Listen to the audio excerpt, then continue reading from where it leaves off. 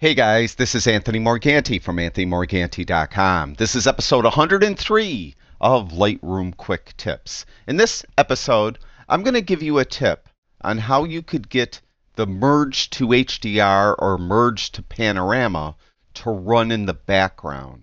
Now, what I mean by that, I'm just going to give you a little demo here. We have this image and we have this image here, and I'm going to make a very simple two image panorama.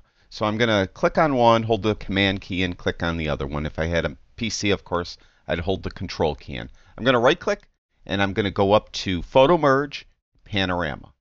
Now, you see this box comes up, and when this box comes up, you can't do anything else. Now, it went very quickly because I only had the two images, and panoramas tend to go fairly uh, fast in Lightroom. The HDRs take a lot longer.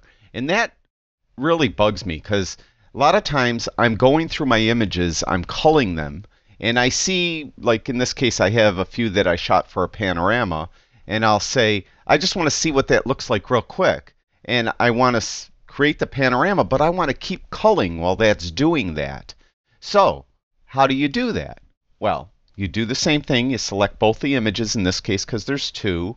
I'm going to right click on them. I'm going to go up to photo merge. Now instead of just clicking on panorama, I'm going to hold the shift key in.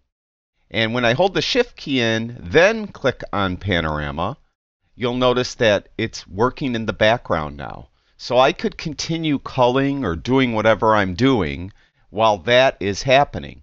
And once it's done, it will just load, the, in this case, the panorama image into the same folder as I was working that I was working on. And that, again, it does the same exact thing for HDR. Just hold the shift key in when you click on the HDR. And as for settings, whatever settings you previously used in either of those two functions will be used again. So if you're creating an HDR, whatever deghost setting you used previously, auto tone setting, the auto crop setting, all that will just get reused. And in my case, for the panorama, the projection and the auto crop uh, got reused, whatever I had.